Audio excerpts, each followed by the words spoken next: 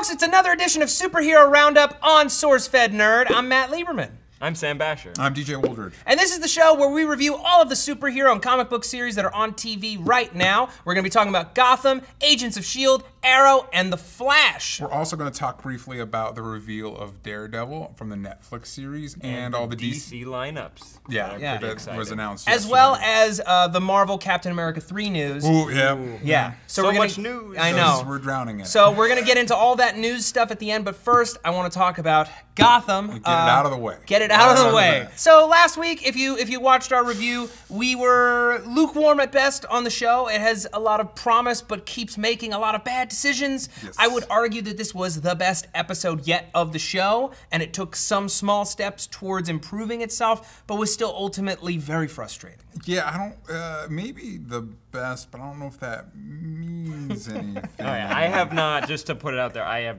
chose not to watch Gotham because I have no interest in knowing the origin story of all of these villains and hearing the Batman origin for the ninth time in the row. So Well, here's the good news. If Yeah. you're there for origin stories, they're not there. They're so- not there. Yeah. oh, okay. There's Yeah. really the closest thing we get to an origin story is Penguin, Mm-hmm. Sort of. but it's so but it's so dumb. It wants to be cool because he's like climbing his way through the ranks of the underworld, but like in fits and starts and in stupid ways. Yeah, it turns out the only way to climb up, the best way to climb up in the Gotham Underworld is just to survive. Yeah. Have other people die and you will get promoted and it'll be fine and Right. super easy. Also, uh, I still have the complaint that I have no idea. Like things just happen within the series because the plot demands it, but there's no real sense of this being Gotham being a real place. Like two politicians get off within days of each other how does that affect Gotham? How does that affect elections? How does that affect like what, how does that affect the makeup of the like Gotham the mob- is a horrible place. well, yeah, Well, I, yeah. I understand Horrible, that, but horrible place. hypothetically, hypothetically, it is a place where people live, Uh-huh. and we live in a world where mobs and gangs exist. And guess what? They're not knocking off politicians every day, and I'm assuming there's a reason. Well, the issue here, DJ, is that this isn't The Wire. This is a procedural. Yeah, but and this episode was about solving a mystery. Yeah. A dumb mystery. CMP, uh, CL, CLM. CLM. Uh, what does it mean? Nothing. I didn't even spend any brain effort. There's he, they find a piece of paper. That's a CLM. And at this point, two people have been knocked off. And I'm trying to remember their last names, but it didn't matter. I'm like, oh, yeah, so the third one is the mayor. Mm-hmm. And it totally was the mayor, but that was not, what that word thing meant and at all. Here's the thing: comparing it, I thought about that. Comparing it to The Wire is completely unfair. Compla- Comparing any show to The Wire But is just any if- fair if that you show. have a show but about- comparing it to 24, that's on Fox. People in tw- the characters in 24 are smarter than the characters in Gotham. Right. But it, that was a serialized show that treated the world very, very seriously.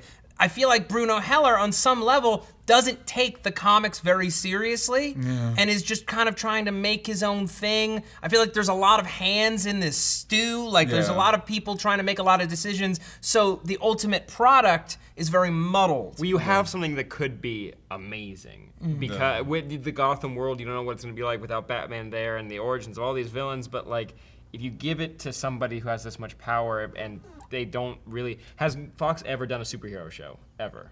As, Mantis in I have, 1998. I have fond memories of that show, but I don't remember if it's just because I was a kid at the time. Yeah. it was actually any it's good. so it's such a big responsibility, Yeah. and giving it to someone like it doesn't that doesn't make sense to me. Well, It something- does- it's gonna make a lot But- of money, but- but Yeah. He made Rome. Rome was a show that, was that handled politics in a realistic was solid. fashion. I do think the series needs to be decide whether it is the Dark Knight or the Batman 66 show because Yeah. right now it's trying to be both and it's not doing how's it either. to be? Well, here, let's- because it's super campy. Again, the production design is so like like cool and weird because like in the in the office where the um where he was hiding out, the hitman Yeah. was hiding out. It's like all typewriters and it's like super classic. But Yeah. then he's also got his cell phone. But then at at GCPD, they have like computers from 1995. Yeah, yeah, yeah. Yeah. Yeah. So I'm just sort of like, I know you're trying to go for like a timeless thing, but like let, maybe let's make like a couple decisions. Yeah. And I feel like they haven't yet. Again, ma- make it decide. This is how this world functions. Because if you if you can decide if you have rules for it, like Yeah. any good fantasy, if you have rules for how it works,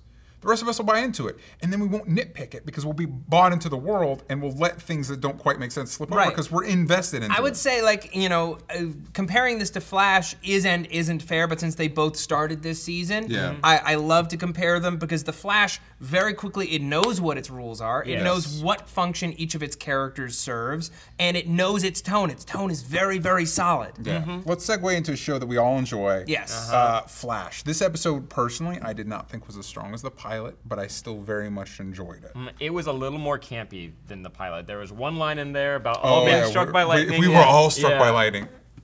Barry, I need you to shut the hell up for a second. You just you just defeated a cloning man who is very cool. Like he's a minor Yeah, character. Yeah, and the effects were But- like shockingly Wow. seamless for That- CW. Yeah, oh, that- for a TV show. Like, Yeah. I mean, wow. They uh, when they did, there's a million of them coming after Yeah. Barry. Yeah. They did something really cool. They made the the clones lower res, but they still used Barry slow mo running through them and then masked him in, so it looked more believable of him running through that. I like that. I The- appreciate I, that. Well, I also like the the we right off the bat show that even though this guy's the fastest man alive.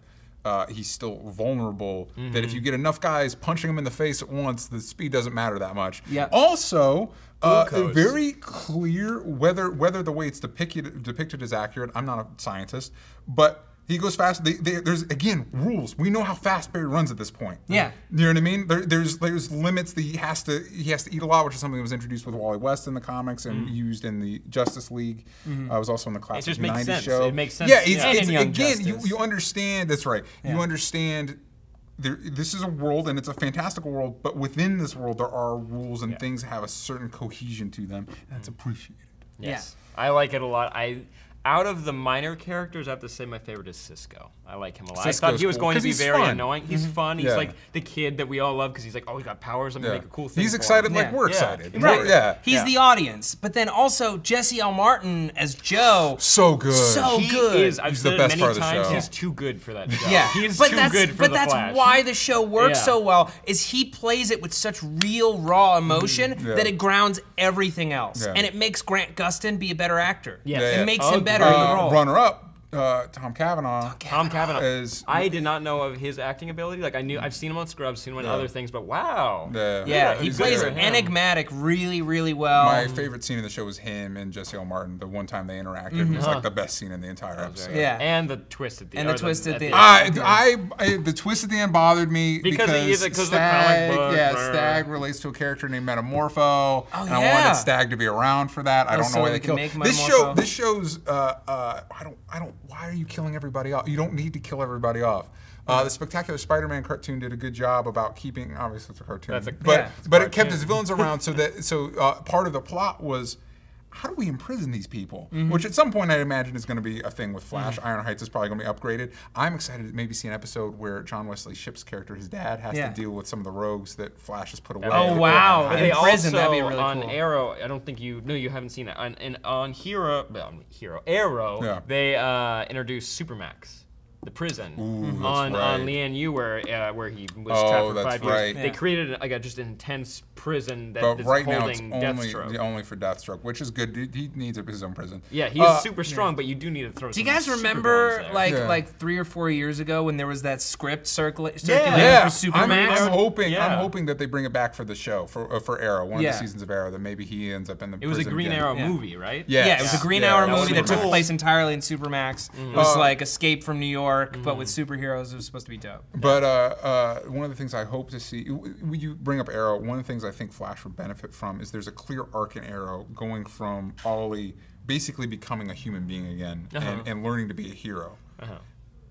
Barry doesn't have that, or as as a human need that. Like he's fine, Mm. you know what I mean. I would like to see something for like for Barry Barry, to Barry to have an arc. Yeah, Okay. yeah, Well, see, but I would I would argue, and maybe you agree with me on hmm. this, Sam, hmm. that I feel like there is an arc that's very much there, and it's it's it got founded in this episode where he didn't quite have the confidence hmm. that he could be anybody. This is a guy who uh, was told he was crazy for years. Yeah. Who For a year, he's a broken child. He's a From broken since child he was from a, broken child- home. Yeah, exactly. He watched his mother be murdered by some freak thing that he couldn't explain, and his dad was in prison his entire life. and no one believed him. Yeah. For years. He's becoming his best self, and part of that comes from freeing his father. So I feel like those two things are very much united. Let's yeah. segue to Arrow Okay. briefly. Uh, um, uh, another great episode. Here's the Flash. Part of the Flash's problem is it reminds me a lot of early Arrow before it found its land legs. And that's why I have And faith. now, that yeah, the and no, Flash it's definitely become yeah, it's definitely going to get better. But like Arrow, it's on season three. Like it's it's super confident humming. about its about its storytelling. Yeah. and it, this was a rough episode. It was really they didn't gloss over Sarah's death from from last Yeah, episode. It was- everyone was affected. Everyone was Everybody. deeply, yeah. deeply affected. I think uh, there was a we were watching it um, in the green room, and uh, I think that when they walk in, they're all like being all chummy, and then they walk in, and Sarah's body's there with arrows, and I think it was this collective like, yeah. Shit. This one's actually dead. Yeah. she's not coming she's back. She's super dead. Yeah, they like to kill off their characters. Yeah. A lot of their characters, like yeah, I see like the roster like get uh, smaller and smaller at the end of the season. I'm like, I think they're out of character. I don't know who they're gonna bring in the next season. Like then they brought back John Barrowman. I'm like, oh okay, got another person new now. Uh, But uh, Um, but yeah, she's not. It doesn't look like she's gonna be coming back uh, ever. no. Yeah, no, she's, buried. super dead. She's buried in her old. Oh, that's right. She's yeah, she's buried in. Yep. Her old grave. Uh, I do like seeing Laurel get tough when on the on the whatever the mo- contractor mobster. Yeah, whatever, whatever. The guy with the cast. Yeah. That Yeah. was Laurel's best scene That in was three because seasons. it gave you faith because you know that like Yeah. she's gonna Yeah. become the Black Canary. So yeah. Yeah. because something I didn't She's mention- looking at that little, little leather jacket. jacket, yeah, something I didn't want to mention last week, Mm. uh, but now, I mean, hopefully you've watched if you haven't. No, too late, we've already spoiled it. um, uh, I was so depressed because Sarah's so much more interesting. She's than so Laurel. cool. And so it's like, the wrong sister. This kind of gives a But- cooler motivation for her to become. Become well, and it's Right. yeah. I think I think it, it was a great it was a it was a great sign. Like that scene was a great sign for that character. Although, uh, uh, pro tip for you kids out there: if you've seen an arrow go through a window and murder somebody, Don't go walk up to the window. Don't stick Don't your face watch- in the hole like to look. Where like, they- oh, what they're the? at, yeah. Hey, what's going on out there? It's just Uh, a contract killer murdering people. There Hey, was- let me stick a hole. Did anyone else Oh, see that? and speaking Huh? of not and speaking of not killing villains, they didn't kill off Komodo, thankfully, because the second he started talking, he was seemed super interesting. He was like joking and shit. He was awesome. Oh, Simon LaCroix? yeah, Yeah. he was great. Yeah. He was pretty cool. Yeah. I was super annoyed at that motorcycle scene because I was like, I at first Well- in the, the beginning, it was like, look, okay, we're gonna pass. Yeah. Shit, hold on, we're gonna turn around. Okay, hold on, wait, wait, okay, okay, we're gonna pass again. My only Oh shit, we're gonna turn around one more time. You didn't like it when he And stood up on the one arrow. skidding bike? That the, was the cool. skidding It bike was the cool, and the fight was cool. But I think the only problem was I, I thought it kept being Komodo firing arrows and arrow dodging them. It mm-hmm. was. no, they flipped. It just Oh, was hard missed to tell because they looked so similar. Right. Yeah. Because yeah, it was, It it was was, very. dumb. It was. It, I think it was a great concept, and I think it was fun. The only problem with execution is I could not. I thought the same thing, uh. and I. You just couldn't tell who was who. Now, how did you Probably guys 'cause it was the feel? same stunt guy. How did you guys feel about seeing Tommy again? Ooh, fun, great. Yeah. Yeah, because he I his miss death, Tommy yeah, so his much. death was a shocking. You didn't see it, but it was a, it was a shocking I'm moment. catching up, everyone. one. Yeah. It's it was Um, a sol- when he died. You're like, Yeah, shit. this shows. Yeah, Yeah, it's for real. real. Like yeah. this is dealing with real problems. Well, and they kept the the that sh- this show does a very good job of upping the stakes because you keep thinking like, they gonna top this? And then they do somehow. And when They killed this his season, mom? I am thinking, yeah, that was crazy. But I think. Um, I think this season's doing something smart because they even brought it up in the premiere. You know, we've had two major terrorist, uh, terrorist attacks in as many years.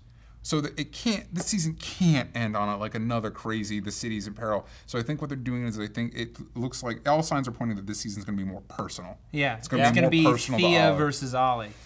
Maybe I well, and it looks cool like to I was her at the end of the episode, by the way. yeah, I was wondering if it was Thea that shot Sarah, but now it appears that she, there she is very far away. In and Mordo it was not- So we Corto don't. And, and the other thing Corto is, Maltese. Corto Maltese. Mal, uh, Malcolm was also there, which That doesn't mean that they couldn't have been there. There was like a day or two in between. yeah, but I'm just saying it might it might not be. Uh, he he might be ultimately responsible. In fact, he probably will be, but um, uh, he, he might not be directly responsible. I want, I'm excited to hear why that happened. Like, is it Mm-hmm. to get to Arrow? Is it because something she did? Or Yeah. I don't know. Mm-hmm. That was cool. Laurel was great in this. Per, a character that I always want more out of uh, is, um, what's his name? John? Colton? Uh, the the speedy. Oh, uh, Speedy, uh, Speedy. Roy. Yeah, Roy, Harper. Roy. yeah. They don't always call him want- Speedy on no, this no, show. No, that He was is his sister's name. Yeah, Okay. I think they haven't given him his code name yet, but I think the showrunners have said it's Arsenal.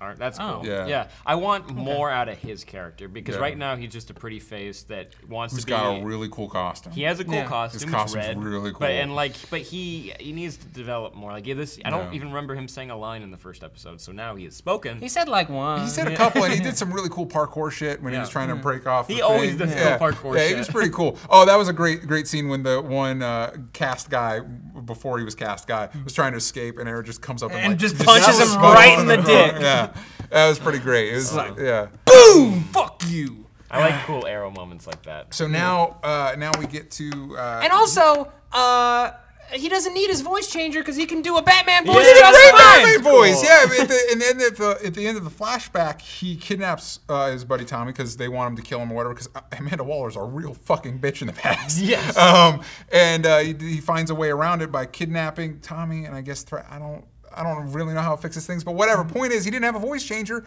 Stephen Amell has fine. a great Batman voice. Yep. I, and Why I'm we doing? trying- Why we doing the voice changers? yeah, it's real 'cause- goofy. Yeah, good episode. And now we go move on to the one Marvel show we have. Yes, Marvel's Agents of S.H.I.E.L.D., which threw down a great episode this week, I episode like four. This season so much more. It's really clicking on all cylinders, and I Mm-hmm. feel like they've been very smartly and very efficiently moving along all of their plot lines, especially the Fitz plot line, which. Yes. I, I want to open by talking about. Because uh, Fitz has had this brain damage and this huge lack of confidence ever since Ward betrayed them in the first season and left him to die. Um, and in Uh-huh. And this, he's building himself back up, and he's doing the writers.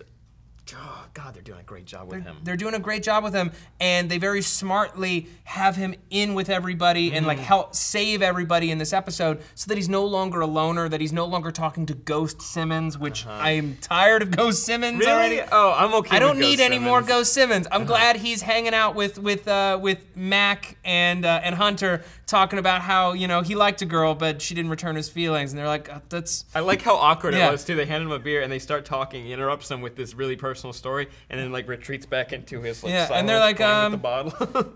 that's rough, man. She she didn't deserve you. Yeah. Yeah. and he's like, he's a part of the crew now. Who is the British guy? The asshole. Hunter. Hunter. Okay, when he had to grab when Yeah. he grabbed Hunter to do like the electrical work, and he's like, no, no, no, no, no. Like he gets Yeah. so mad, and he's actually has like he's clear. He's able to think, and he's get, he's determined. I loved that, and they like made him important. I love that they used the face. Um, like face changer. I'm like, is this is this or well, I thought it was uh it's like the Mission Impossible. Yeah, with the, the, face shaving maker. thing. Yeah, Yeah. the pacemaker. But they it was a nice throwback to Winter Soldier because Mm-hmm. I- they had that technology and they never used it in any other Marvel movie ever. Yeah. I'm like, that's important, man. Yeah, so That's Hydra has it again. Useful, yeah. Yeah. Um, and May versus May was great. Yeah. And the the way they used special effects were very good. Like either they found like a very good stunt double for May, but the way it, they cut it and they edited it made it. Yeah. look like it was the faces were the same. It same. was, excellent. amazing. Yeah, Melinda May versus Melinda May. One in a very nice dress, the other in lingerie. I'm not one for objectification. I'm a big fan. It was cool. Um,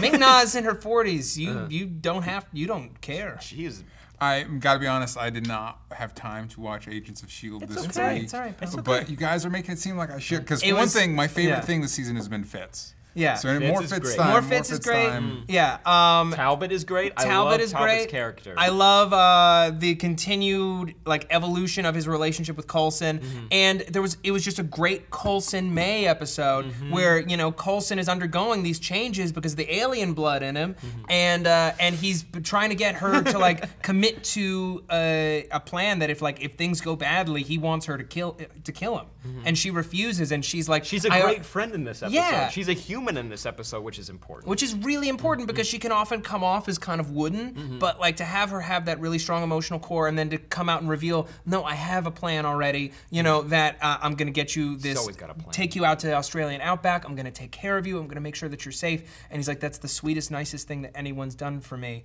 and now I'm going to give you an order to not do that. You're going to kill me. Uh-huh. All in all, it's been a great week for superhero TV. Certainly has. Gotham's still disappointing, but three great episodes from the Mm-hmm. other shows. Let's talk about news. Well, hold on. And Constantine comes out next week. Yes. right? Constantine, Jesus. So, that, So yeah. yeah. So anyway, Goddamn that's another thing to figure out. So More uh, shows. speaking of Marvel, Yeah. uh, last week we got first images of Daredevil. Yes, Charlie Cox, and he looks he looks pretty cool. Uh, the, my comic knowledge is is expansive, but it has its limits. Mm-hmm. Uh, I did not know about Frank Miller's Man Without Fear run with Daredevil, so when I saw the new costume, I immediately thought of the made-for-TV Lou Ferrigno Hulk movie that Daredevil showed up in because it looks pretty similar. Mm-hmm. Uh, but they apparently said in the New York Comic Con footage that it's a work, like he says in, in a clip from the show that it's a work in progress. So I'm imagining part of the arc is at the end of the season. He has they'll the have the, suit. traditional Daredevil Yeah. suit. No, it's one of the most celebrated arcs in all of Daredevil's history. And if you if you haven't read Frank Miller's um, The Man Without Fear, you need to, you need to read it. Sounds pretty good. It's- it's I'm great. excited for this because I um I heard one of the one of the execs over at Marvel when they met the lead actor uh, a couple years back. They're like, we need him to play Daredevil, and this is prior to Marvel getting the rights back to Daredevil. And they're like, well, we gotta wait. So they were that. thinking about it years before they, were even had an opportunity. Him specifically playing Daredevil, and don't didn't even know what they were gonna do with it, but they knew they were gonna have him do it. And Wow. the thing that excites me in obscure comic book news is that uh, Rosario Dawson's playing Night Nurse, I love which is a lot of fun Dawson. for me. So I imagine I, I think they're positioning her to be the Nick Fury of this street level. Right, because she's going to be on Luke Cage and on Daredevil. Yeah, because Night Nurse uh, traditionally in the comics she bandages up superheroes, Mm-hmm. like which is a great fucking concept. And so I imagine a bunch of people are going to be ending up on her doorstep between these four series that they're launching. Sure, and it's got to be a meaty part for Rosario Dawson to take it. Yeah, Mm-hmm. and Yeah. also probably a lot of money. Um, also, uh, which I think you did a white wall on. I did, and you can check that out right here. Uh, Robert Downey Jr. was announced as joining Captain America 3. He's going to be playing Tony Stark in it. Is that official? Sorry, I wanted to know. Uh, It is it it is in talks. Variety, their sources are rarely wrong, Mm-hmm. uh, and they have so many details that I have to imagine that it's on point. Uh, yeah. So he for about forty million dollars, he is going to join uh, Captain America three and kick off. Uh, supposedly the Civil War storyline or the cinematic universe's version of it, that, where they're going to take the skeleton and trim away a lot of the controversial stuff, probably. Probably. Um, Yeah. You know, America is having such a love affair with Tony Stark. They're not going to make him a huge a hole. Well, yeah, because that was one of the disappointments of the Civil War comic. Is it really? It wasn't so much. uh, It was intended to be like, oh, what side are you on? Both sides are kind of right. And what it became was, man, Iron Man's a huge dick, and he's mm. basically a villain now. Hopefully they can fix that. I've been Yeah. listening to a podcast, like just explaining it to me because I would like to learn about the Civil mm-hmm. War as quickly as possible. It seems like an interesting arc Yeah. for them to do. I don't know what it's gonna be like because you don't have enough people in this Well, universe. you- Like- you, you're starting to with the Defenders and the Netflix shows. I'm wondering. I know that there's rumors that Marvel has been trying to get uh, a deal with Sony to use Spider-Man, Spider-Man again. again. But I'm wondering if that falls through. If they will use Daredevil in the Spider-Man role, because Spider-Man plays a big Interesting. part. or and- nope. yeah. Yeah. It because, and the thing is, uh, a big part of what made that uh, Spider-Man. In the comic book, Spider-Man reveals that he's Peter Parker yeah, to a wide audience in. Civil War, in and it was Civil like War. it was the most iconic moment of Yes, Civil War. but uh, they had to retcon it because it kind of completely ruined Peter Parker as a character. Yeah. Um, however, uh, another character in the Marvel comics that had his identity revealed and actually mm, mm, uh, created a lot of very interesting stories was Daredevil. Okay, I didn't, that happens in Civil Yeah, War. it, well, and he didn't. His his his identity was not revealed in Civil War. It was part of his own comic under. Um, I want to say it was Brian Bendis' run. Um, Love Brian Uh, but it, as opposed to where Peter Parker revealing his identity kind of short circuited the character.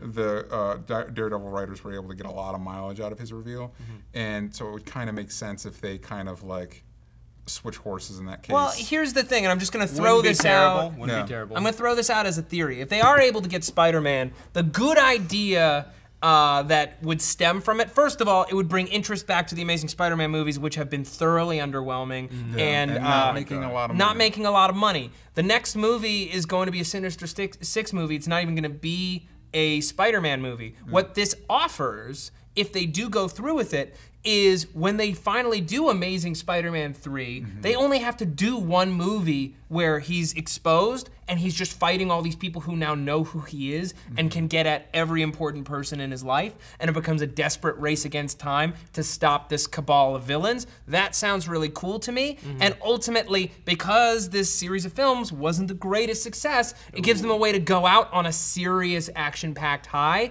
and not have to worry about retconning it and like just start over. But the problem is, I don't think Marvel would let that happen because that's supposed to connect to their universe. So that's the Ah. Spider-Man. That's that is then the which Spider-Man is their Sinister side of Six it. is supposed to. Well, I mean, if if hypothetically they they make this thing happen, and they have Peter Parker's reveal, then if if they Sony can go out on a high note, but then Marvel's stuck with saddled with the Spider-Man. I have no Sony. idea how they would introduce Spider-Man into this universe. That's they already saying, fought like- New York. They already Yeah, destroyed New York. What the hell was Doesn't he matter. doing? Doesn't matter. But- you you fucking have like uh, Tony Stark and and Bruce Banner having a chat on the on the fucking Baxter Building. Yeah. Uh, or no, no, no, Baxter Building's Fantastic Four. Yes. Yeah. Yeah. Sorry, having having a discussion on on Avengers Tower, and then just a web shoots up over their heads, and he fucking leaps down. People would go bananas. Yeah, I don't give a fuck. mind. Wait, what's the what's the project in Marvel where they have they can go to the other universes? There's something in the comics like that. I never. well, honestly, like that- I think this is a good segue. It's the multiverse. But Yeah.